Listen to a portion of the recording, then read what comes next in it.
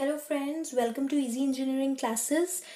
Uh, we are back in the series of preparation for GATE UGC NET computer science related subjects and this series will also help you for preparing of bank IT officer exam. So today we are solving two questions on theory of computation subject and these questions appeared in GATE 2017 paper.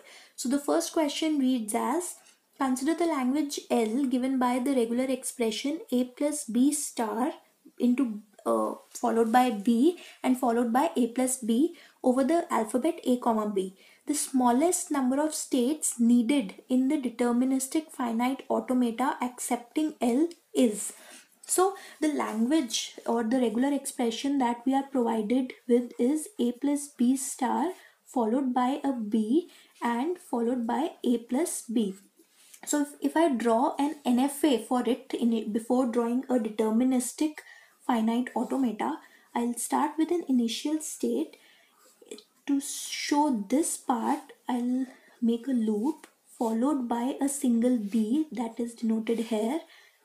Then the second state which is Q1 followed by the last bracket this denoting the last state and the final state all right? So this is an nfa now if i have to convert it into a dfa i have to draw a table in which i write down the state and the transitions for a and b all right? So starting with the state q naught i see on a we transfer or we uh, go to q naught only and in case of q0 and reading b i go to q0 and q1 so the state is q0 q1 now writing this q0 this is the initial state. Q0 q1 now from q0 q1 reading a i will go to q0 and q2 and q0 q1 reading b i will go to q0 q1 and q2 now reading from state Q0 Q2. Since Q2 is the final state here, Q0 Q2 will become a final state. Now from Q0 Q2 reading A, I'll only go to Q0 and reading B, I'll only go to Q0 Q1. Alright, so uh, coming to the next state Q0 Q1 Q2, reading A, I would go to Q0 Q2 and reading B I would go to Q0 Q1 Q2 so these are this will also be a final state.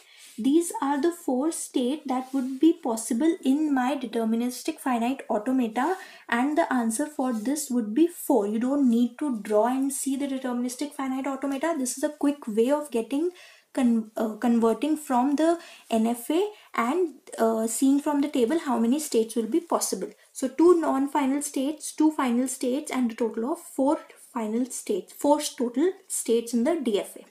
Now coming to the second question, we are given a grammar with the productions where S is the start symbol, then we have to find out which of the following strings is not generated by G. Okay, so uh, the if we start with this string a b a b and I start drawing its tree syntax tree or a normal tree for generating this string I start from the start symbol s. I go to s s.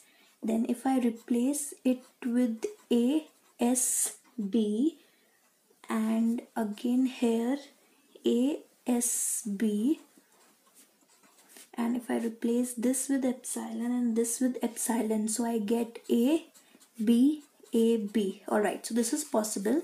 Now coming to the second part S. From S I go to S A S.